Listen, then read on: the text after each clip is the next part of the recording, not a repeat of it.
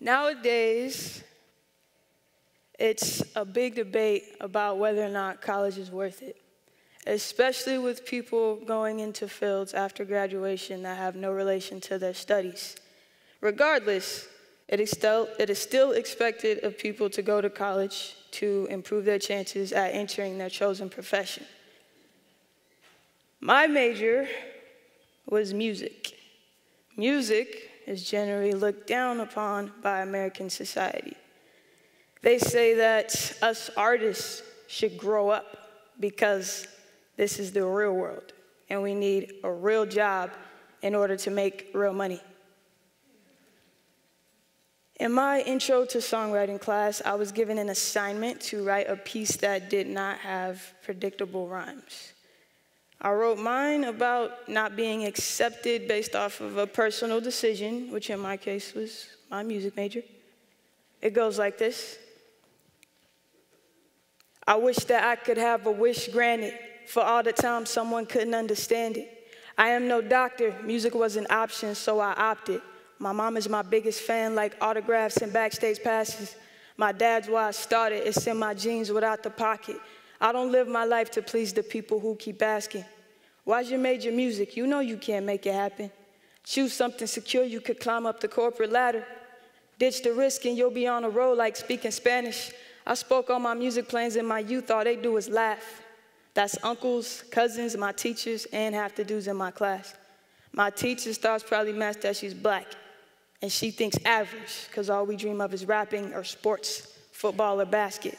Well, why could they not approach it as she could be a great poet, and my job as a teacher is to help her grow and hone it faster, but not a chance. All I got was frozen glances cold as an avalanche, but by now I know that they're ashes.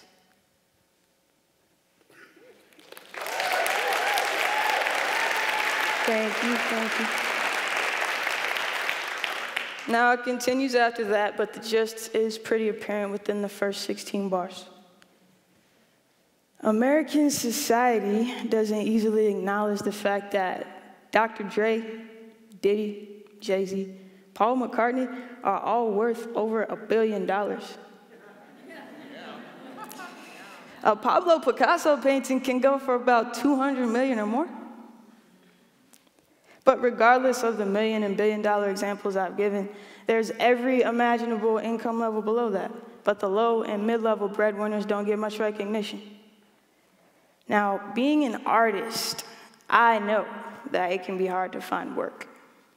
But it could also be hard to find work if I had chosen medical school. And it could also be equally as hard to find work if I had chosen law school. So, with that, I often wonder why we don't move away from the concept of finding jobs and into the concept of creating jobs.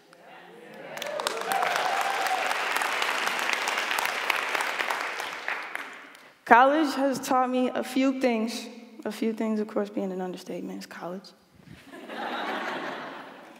but my professors taught through case studies. And within those case studies, I would like to say I learned over a thousand ways to make money. Of course, about 50% of those were blatantly mentioned in the text, and the others were open to interpretation. In my senior seminar class, I was given three capstone projects to complete, in which we were able to choose our own topics. My first capstone project was a digital drum kit in which I designed by sampling a bag of children's toys. My second capstone project was a digital preset bank for a synthesizer called Europa. And my third capstone project was a digital course on drum synthesis accessible via MP4 downloads. I know that sounds like gibberish to all of you right now. But using those three capstone projects, I was able to create my proof of concept and successfully launch my business prior to college graduation.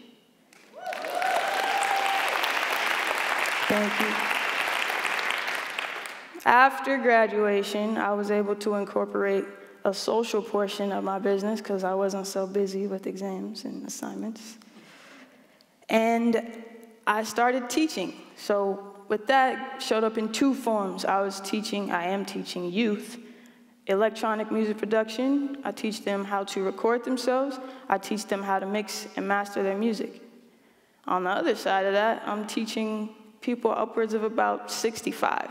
So not only am I teaching them music production, but I'm teaching them how to use their computer. and I'm teaching them how to use their camera so that I can see them. And I'm teaching them how to use their microphone so I'm not just cluelessly watching their lips move. I'm a terrible lip reader. So, through my successes and failures in running my business, I've developed some guidelines that I use to proof my future concepts and ideas. And there are eight of them I would like to share with them, share them all with you today. One, find your passion and the rest will be fail proof. Skip the step and your line of work could be held to you. Two, think of needs you can fulfill with your skills, only outside the box, because typical positions are filled. Three, brainstorm products for digital consumption. The world is too big for us to visit every junction. Four, social interaction is still crucial. Relationships are important. Don't let the internet fool you. Five, you have to market if you want to make a profit. Consistency is the motto, it applies to every topic. Six, every business concept is worth gold if you implement it right and your USP is its own. Seven, always put the end user first, give more value than you offer, and they'll grow to know your worth. Eight, take time to de stress and refuel. Sometimes the ETA is faster when you plan a detour. That's all eight. Thank you.